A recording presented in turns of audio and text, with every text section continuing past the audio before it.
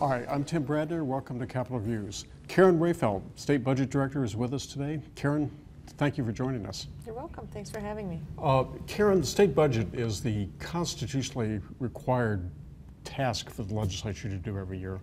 And uh, it seems like it's, it's almost a year-long process. You finish one budget, the governor signs it, things, you start cranking on another one. I mean, how does the project, how, how does it really work?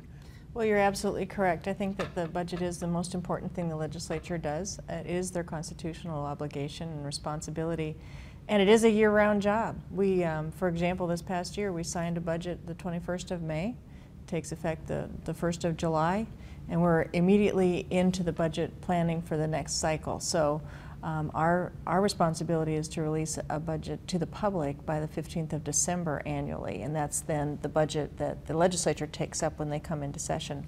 Uh, it takes many months and involves all of our 14 state departments and the university and the legislature and the court system to put our budget package together for the annual review that takes place during the legislative session. So at the same time in December, I understand the state financial report comes out, and that's different. That's for the year prior. True. That is, that that? would be the audited financial statements for the state of Alaska. So, for example, fiscal year um, 13 ended June 30 of last year. So that is the audited financial statement for fiscal year FY13. We're currently in fiscal year 14, and then the budget before the legislature is for 15. So just about the time we're rolling out our budget for the next fiscal year, we're just closing out the books on the previous fiscal year.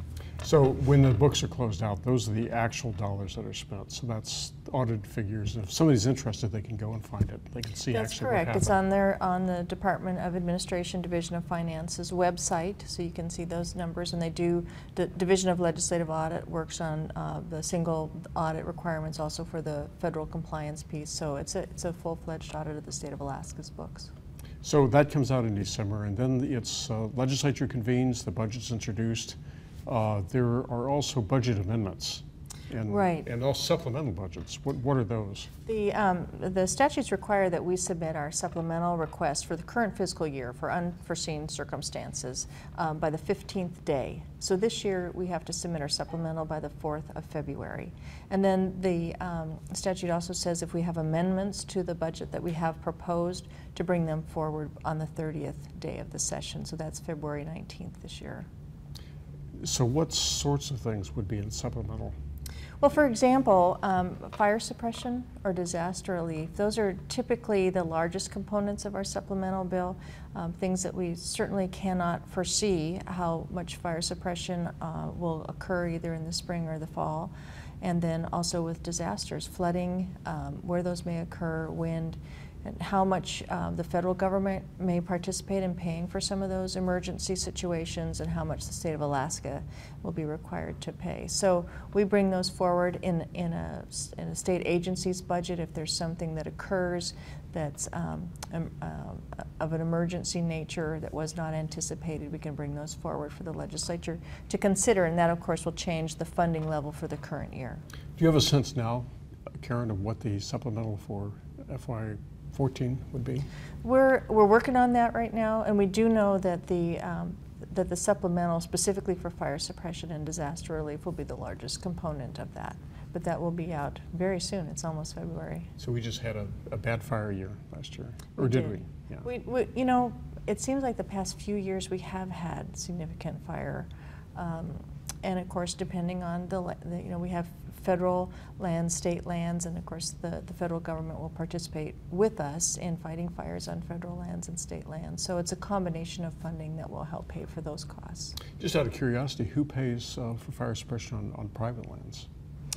Well, if, you're, if we're helping to protect life and property, the state of Alaska will, will assist with that. But um, for the most part, that where, where those have occurred have been, and it, that of course in insurance settlements if there are some um, Yeah. damage of, of property. But the state of Alaska does um, contribute a great deal to fire suppression.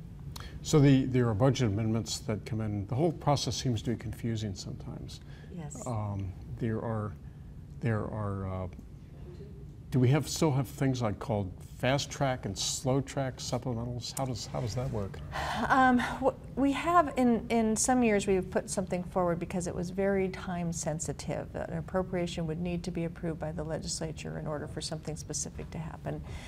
The reality is in a 90-day session, things happen pretty quickly. Um, Supplementals are very rarely uh, approved early, although they can be. So for the most part, we put forward one bill, um, supplemental bill, and uh, eventually it gets rolled into a different appropriation bill, usually the capital bill at the end of the session. Yeah. So those would be, uh, so we don't have two, sometimes we'll have two separate supplemental appropriations bills, but usually just one in the, in recent years. Yes. Yeah. And unless there was something really um, unique or unusual that we needed to address separately, then we would bring forward a special appropriation. Uh, Then, you know, the legislature passes the budget, the governor has how many days to veto, to do his vetoes? If uh, they, if they pass it, while they're still in session, there's 15 days. If the session has adjourned, it's 20 days um, to, to act on the bill. That's when the governor receives it. So uh, the session may end, and we may not receive the, the appropriation bills for several weeks afterwards. So it's from, from whenever we officially receive the bill, 20 days, and I think that excludes Sundays. Yeah. Well, Karen, thank you for being with us. Thank you. Uh, Tim Bradner, Capitol Views, thank you.